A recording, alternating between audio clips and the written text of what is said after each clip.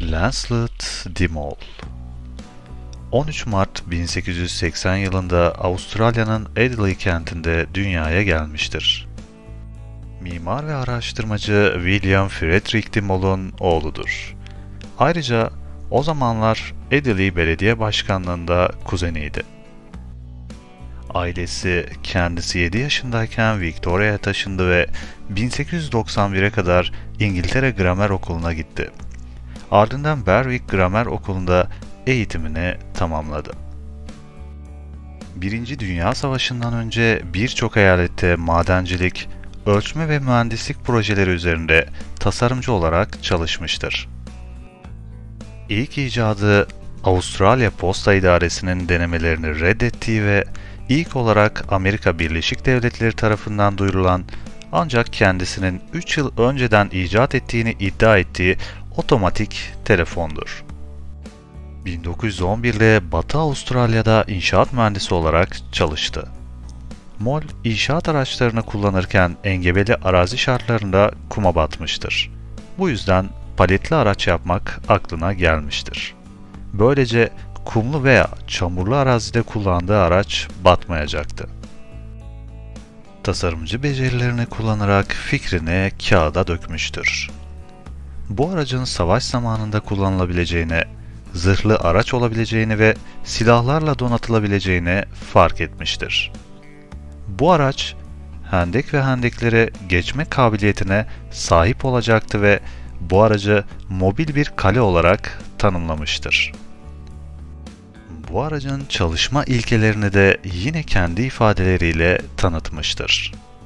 Moll, tasarımını İngiliz Savaş Ofisi'ne gönderdi fakat o zamanlar böyle bir makineye ihtiyaç olmadığı için tasarımını reddettiler.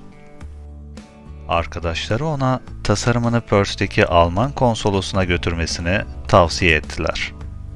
Almanya'nın daha sonraki bir tarihte düşman olabileceğini düşündüğü için bu tavsiyeyi reddetmiştir. 1914'te savaşın patlak vermesiyle birlikte mobil kalesini yeniden tasarlamaya başlamıştır.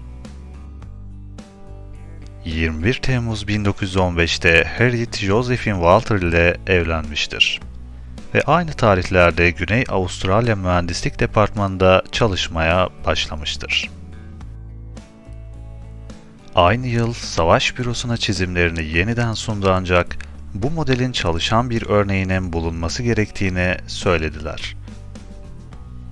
Bunun üzerine çizimini Avustralya İcatlar Kurulu'na sundu fakat yine reddedildi. 1916 yılında İngiliz tankları kullanılmaya başladığında Moll, kendi modelinin daha iyi olduğunu görmüştür. Bu sırada mobil kalesinin 8. büyüklükteki modelini tamamlamak üzereydi. 1917'de Teğmen Harold Leslie Boy yardımıyla 26 Eylül 1917'de aktif hizmete kabul edildi ve 10. tabura katıldı. Teğmen Boys, icadının farkındaydı ve modelinin İngiliz İcatlar Komitesi'ne gösterilmesi için mümkün olan her şekilde yardım etmeyi kabul etmiştir.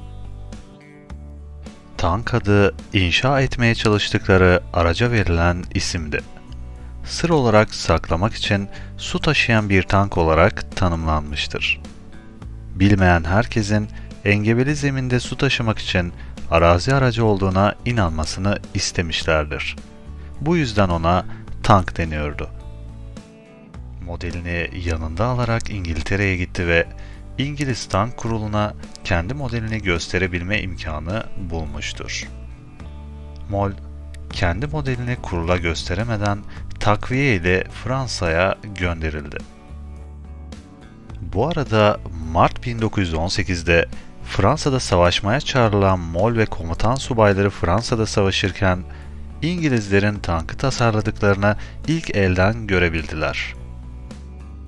1919 yılında Mol, İngiliz Kraliyet Komisyonu'na ödül için başvurdu fakat komisyon başvurusunu reddetmiştir.